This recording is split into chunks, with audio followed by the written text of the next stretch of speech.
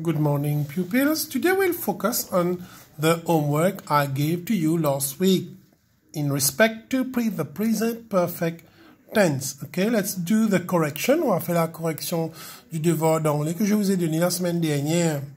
Write the verbs given in bracket in the present perfect tense. Je vous avais demandé d'écrire dans votre cahier. They just the main gate. They just the main gate. Le mot-clé ici, they just PPT, on avait vu la semaine dernière, present perfect tense. Le deuxième mot-clé, c'est they. On avait dit que après they, we have to put have. Et j'en suis sûr, quand vous avez cherché le mot open dans votre photocopie, vous n'avez pas vu. Alors, qu'est-ce que je vous ai dit? Si vous ne voyez pas le mot dans la troisième colonne, you have to add ed. They have just opened the main gate. It already raining. It already raining. Le premier mot-clé, c'est already, qui me dit c'est present perfect tense. Et le deuxième mot-clé, c'est it. Et après it, on met has. OK? Si vous cherchez le mot stop dans la première colonne, vous n'allez pas voir le mot stop. Alors, qu'est-ce que je vous ai dit? Quand vous ne voyez pas le mot dans la troisième colonne, vous ajoutez id. Mais ici, il faut doubler.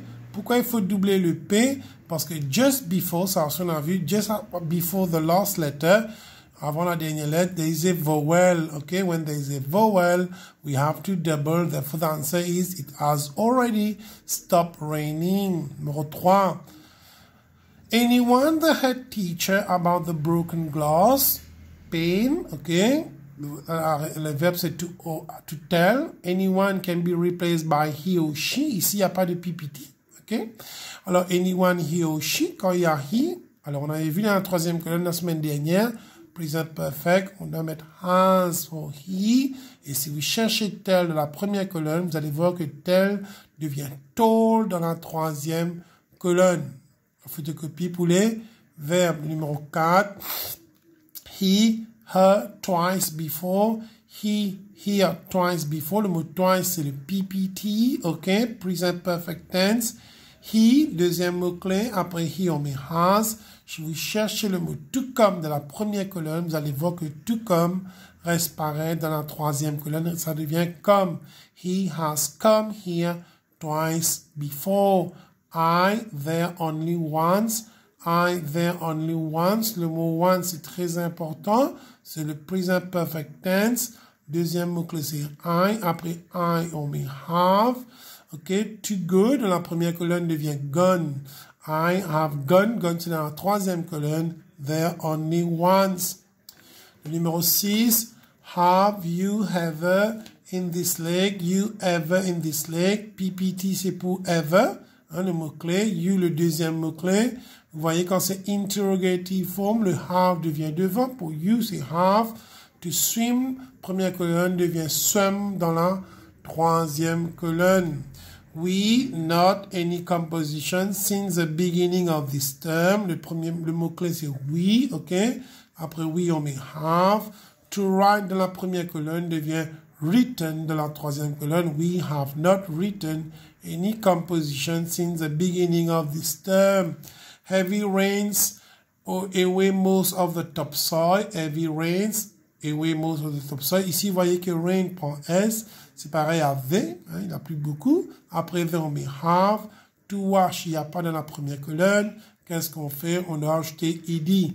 They have washed away most of the topsoil. Maintenant, on va passer en histoire géo. Ok, très bien. Alors, vous ouvrez votre Science and History at N à la page 85. On va lire ensemble. OK, The Discovery of Mauritius and Rodrigue. La découverte. Comment est-ce que les étrangers ont découvert l'île Maurice et l'île Rodrigue. Numéro 1. Indian Ocean in the past. Alors, l'océan Indien, on va étudier l'océan Indien dans le passé.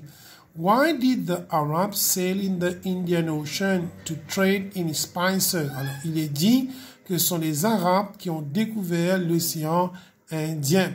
Ok, alors pourquoi ils voyageaient Ils sautaient ici, les Arabes, hmm, de l'Arabie Saoudite et la Perse. Ok, ils voyageaient dans l'océan Indien. Pourquoi? Pour aller ici dans les East Indies. Alors pour aller chercher quoi? To trade in spices. What name was given by the Arabs to our island? Alors, quand ils ont découvert notre île, ils ont donné le nom The Arabs call our island Dina Arubi. OK? Ça, c'est le nom qu'ils ont donné à notre île. Traders from countries bordering the Indian Ocean sail for trade. Alors, tous ces gens qui habitaient ici, là, là, voilà, hein, ok, cette partie-là, ils voyageaient dans l'océan Indien pour faire des, du commerce, ok, pour acheter des produits, pour vendre des produits, c'est ça qu'on appelle le commerce. On voit, continue numéro 4, Arabs, ok, Arabs are the traders, les commerçants, il vient de quel pays? C'est Arabia and Persian. Here is Arabia, here is Persian. OK? Donc, de nos jours, quand nous regardons la map ici, on va voir que Arabia est devenu Saudi Arabia, tandis que Persian est devenu Iran. OK? L'Iran, c'est Persian. On continue. The Chinese also have gone in the Indian Ocean. They come from China. The Malays, Malays vient de Malaisie, hein, Mal pardon.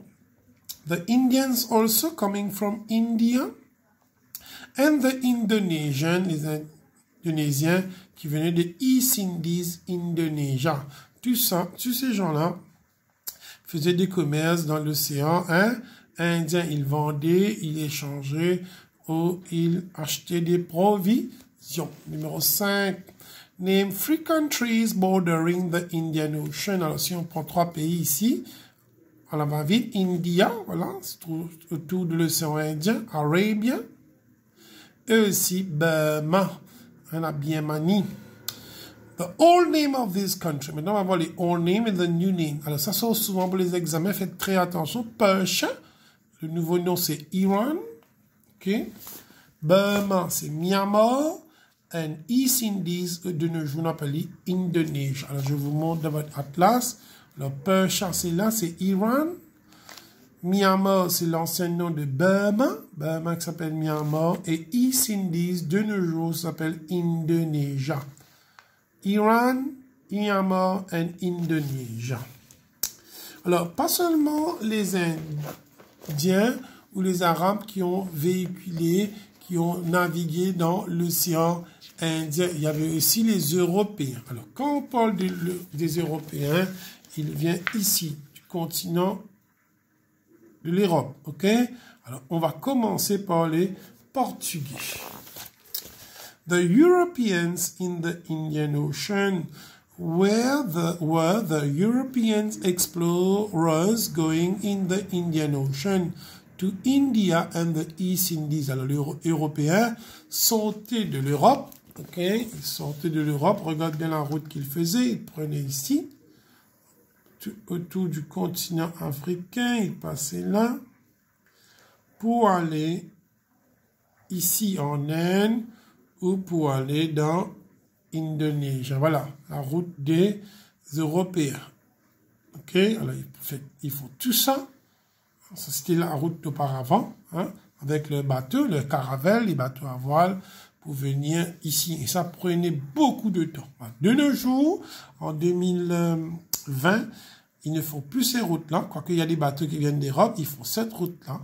Regarde, ils passent dans la mer Méditerranéenne ils font la mer Rouge pour venir dans l'océan Indien. Je explique. De nos jours, en 2020, ils font plus cette route qui est très très longue. Ils font ici, ils passent dans la mer Méditerranéenne, ils font la mer Rouge et ils viennent dans l'océan Indien. Ok, ça c'était la route avant l'ouverture du canal de Suez. Le canal de Suez se trouve ici entre l'Israël et l'Égypte. On continue. Alors, to India and the East Indies, on a dit, ils viennent, ils viennent, ils partent en Inde ou dans le East Indies. Numéro 2. Why were they going to India and the East Indies? Très important, vous allez signer to trade in spices pour acheter les épices. Les épices, c'était très, très important à cette époque-là. How did the traders travel? In big sailing ships? Je vous envoyé des photos des caravelles, hein, de ces navires que les Européens voyageaient pour naviguer dans l'océan Indien avec beaucoup de voiles. Who were the first European explorers in the Indian Ocean? The Portuguese were the first European explorers in the Indian Ocean. Alors, les Portugais hein, qui, viennent, qui viennent de Portugal, du Portugal, voilà, c'est là, vous allez encadrer ça dans votre classe, étaient le premier pour venir voyager dans l'océan Indien. OK? Alors maintenant, on va voir quelles sont les épices qu'on connaît, qu'ils a acheté. Name some spices. Je vais vous envoyer les photos. The cloves, ce qu'on appelle le girofle. Cinnamon, ce qu'on appelle la cannelle. Nutmeg, le noix de muscade. Et pepper, c'est ça le, le poivre. C'est ça qu'ils viennent acheter. Cloves, cinnamon, nutmeg and pepper. Continue. Name three users of spices today. Alors, qu'est-ce qu'on fait avec les épices aujourd'hui, en 2020? To add flavors to food. Hein, quand on manque à manger, il met les épices. Hein, un bon biryani, on va mettre cannelle, girofle pour donner du, goût. Use in cosmetics. Il y a des produits cosmétiques, des crèmes, du, parfum où on met des cannelles. Hein. Il y a des gens qui mettent de musk Spice. Hein, je vais vous envoyer les photos. Ce sont dans les produits cosmétiques, les parfums, et aussi pour les medicinal users. Alors, je sais, avec l'huile de girofle, certaines personnes utilisent ça quand ils ont mal aux dents. Ils mettent ça dans leurs dents pour que ça estompe la douleur. OK? Des produits à base du girofle. Write one reason why spices were important long ago. Pourquoi les épices étaient très importants auparavant.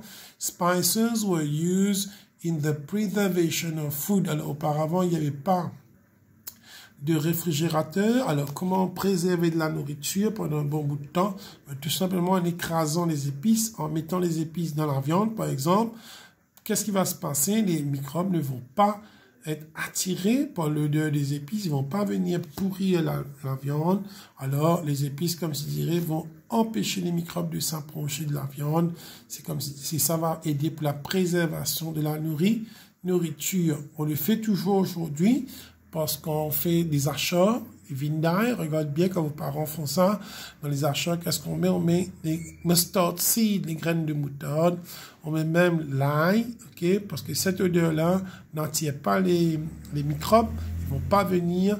C'est pourquoi vos parents, de nos jours, pour la préservation, pour les pickles, comme on dit les achats, pickles, hein, ou les vindai, on utilise les les épices. Name the country from where the Portuguese came. On a vu dans l'Atlas, the Portuguese came from Portugal. Alors, si vous connaissez Cristiano Ronaldo, lui aussi, il est portugais.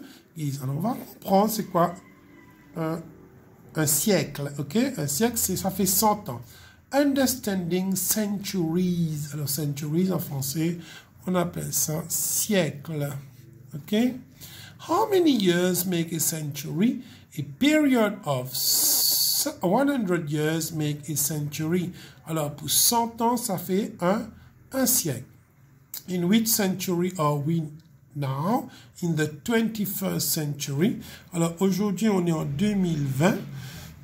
Vu qu'on a déjà dépassé l'an 2000, ok, on a dépassé l'an 2000, alors on va dire qu'on est dans le 21e siècle. 20, 2020, c'est bien après l'an 2000, alors on est dans le 21e siècle, ok? Important years in the history of Mauritius. Alors, on voit les années très importantes dans l'histoire de Maurice. In 1598, alors vous avez vu ici c'est 15, mais on a dépassé 1500. Hein, quand on a dépassé 1500, c'est 1598. On va parler du 16e siècle. Le chiffre qui vient après 15, c'est 16. The Dutch settlement in Mauritius en 1598. Les Hollandais vont débarquer à Maurice. In 1710, vous avez vu ici, 10, on a dépassé 17. Hein? On a dépassé 17. Alors, on a dépassé 1700. We talk about the 18th century. Quand on a dépassé le 17, c'est 18e. Dutch left Mauritius. Les Hollandais vont quitter l'île Maurice. 1810. Excusez-moi, 1810, on a dépassé 1800. Alors, le chiffre qui vient après 18, c'est 19. C'est the 19th century. There was a battle of Grand Port. In 1968, on a dépassé 19, parce qu'il arrive 1968. Alors, vu qu'on a dépassé 19, le chiffre qui vient après 19, c'est 20. Since the 20, 20th century, Mauritius obtained independence in 2002. Alors, vous voyez, tout, on a dépassé 20. Hein, 2000, on a dépassé 2000. 2002. This is the 21st century, comme aujourd'hui, Mordrix became autonomous. Ok, on continue numéro 4. How did people keep record of events that happened in the past? Comment est-ce qu'on euh, magazine, comment on, enregistre les, événements qui sont passés dans le temps? People made a timeline. Je vais vous envoyer une photo d'une timeline to keep record of events. How does it life, uh, timeline? C'est pas lifeline, c'est timeline. Help us to understand important events in history. Alors, une, timeline nous aide pour comprendre les événements qui sont produits dans l'histoire. Ok, on peut même faire ça pour notre euh, vie. Je crois le livre de troisième, il y a, on peut faire une timeline sur notre vie de notre naissance jusqu'à de 10 ans d'aujourd'hui. What does the timeline tell us? When an event happened? Le timeline va nous aider pour nous dire quand un événement s'est produit. The timeline went by by between two events. Alors, il y a une séparation dans le timeline entre deux événements. OK, numéro 7. nous allons voir les explorateurs, les années qu'ils ont exploré, le siècle, et quels sont les événements qui se sont produits. Alors, on va commencer par Vasco da Gama, qui a commencé à naviguer dans l'océan Indien en 1498. 1498, 98, on a dépassé 14. On a dépassé 1000 400. Alors, c'est du 15e siècle. Alors là, Vasco da Gama reach India en 1498. Magellan, alors Magellan a voyagé en 1520. 1520, 20 a dépassé 1500. C'est le 16e siècle. Reach the Straits. Alors, les Straits, c'est quoi? Magellan est venu ici. Là, là, il a pu passer entre la Malaisie et l'Indonésie. Si the Strait, ça existe toujours. Il a pu passer là pour aller en, Chine. Sortir de là pour aller là. Voilà, pour passer dans le Strait. Comme dirait canal Columbus. Alors Christopher Columbus était un Italien. Hein. il va partir de, de l'Espagne, hein, parce que le roi d'Espagne, voir le roi d'Espagne. Il va partir, il va découvrir tout ça. Hein, les, la nouvelle terre, ce qu'on appelle l'Amérique. Hein, il va appeler ça le West Indies. Il va partir de l'Espagne, il va découvrir toute cette partie du monde. OK? Alors, il va partir en 1492. Alors, 1492, on a dépassé 1400. C'est le 15th century. Reach the Americans, comme je vous ai montré sur la map. Now, let's talk about the masquerade Island, les îles Mascareignes. Why are the islands of Mauritius, Réunion and Rodrigue known as Mascarene Island? Pourquoi l'île Maurice, La Réunion et Rodrigue est connue comme les îles de Mascareignes? Because il y avait un explorateur, because Pedro Mascarena discovered the group of islands. C'est ce monsieur-là, Pedro Mascarena, qui a découvert ces îles, Mauritius, Rodrigues and Réunion, to which he has given his name Mascarene Island. En découvrant ces îles, ils vont les, mettre ensemble, ils vont les dire, ces îles-là, on les appelle les Mascarene Islands parce qu'il a découvert ces trois îles. Why did the Portuguese explorers sail in the Indian Ocean to trade in spice? Les Portugais vont voyager dans l'océan Indien pour faire la commerce des épices pour aller acheter en Inde et aussi dans le East These were, where were the spices found? In the East Indies. Alors les Portugais vont sortir d'ici pour aller, voilà, ici, voilà, ils vont sortir d'ici pour aller dans East Indies et en chemin, ils vont découvrir Mauritius. Ok, on continue.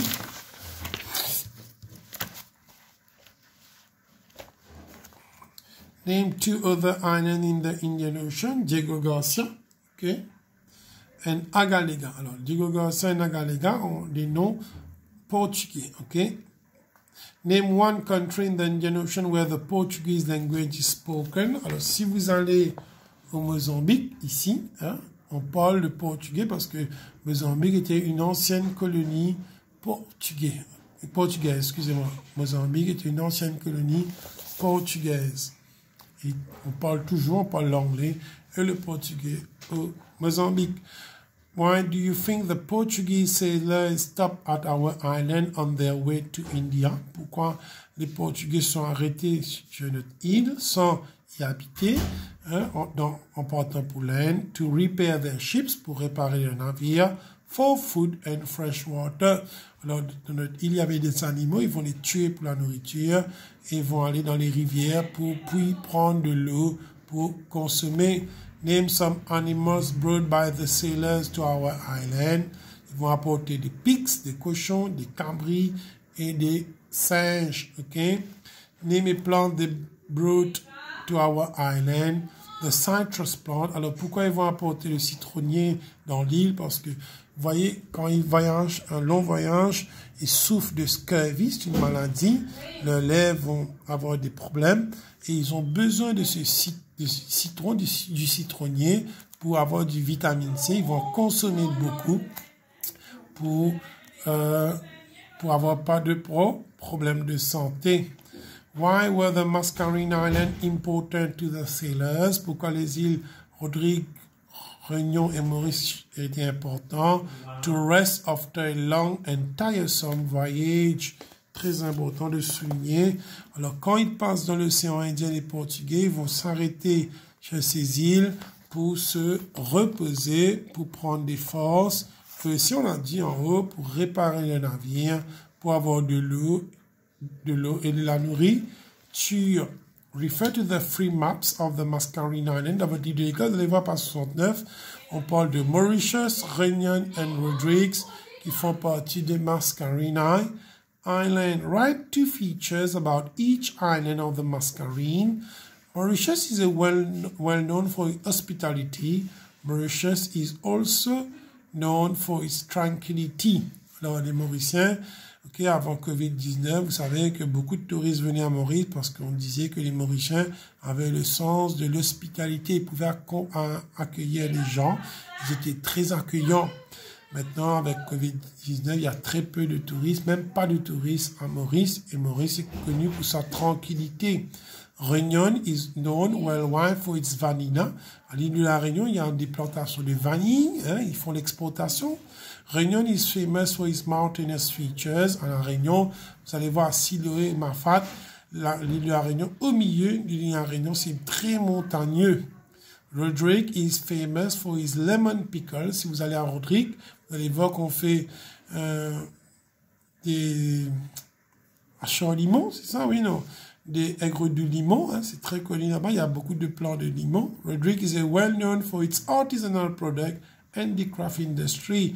On fait beaucoup de chapeaux avec euh, les produits à Roderick. Hein, c'est très, très demandé. Même les chapeaux, les, les, les vannes, tout ça, avec les produits artisans, artisanaux.